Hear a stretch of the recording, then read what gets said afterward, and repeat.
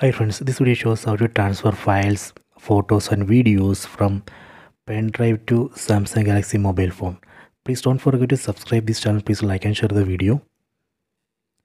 In this video, I would be using this pen drive. You can see this pen drive has USB Type-C pin so I can directly connect to mobile phone.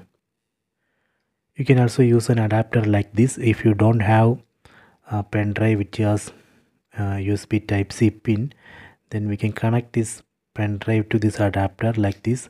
See now pen drive is ready. I can connect to mobile phone.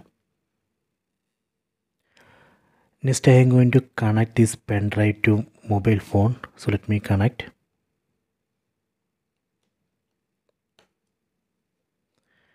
Okay done. So you can see mobile phone has, has detected this pen drive. You can see the icon here let me go to my files app. Tap on this my files app icon then go down and here you can see usb storage one. So this is the pen drive this pen drive. So let me tap on this usb storage one. So now we are seeing folders inside this pen drive. Let me select one folder. So let me select uh, download then I am going to select one image. Select this image then tap on copy. Done. So now I have copied one image from this pen drive.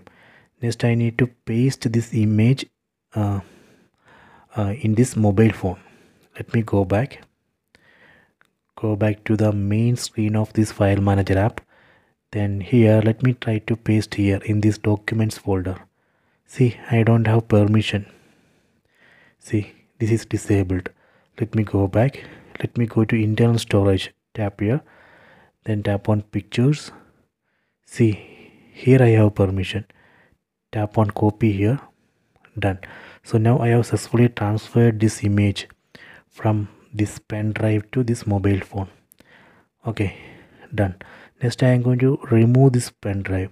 But before that we need to eject or unmount this pen drive let me go back to the first screen of this file manager app then here you can see usb storage one.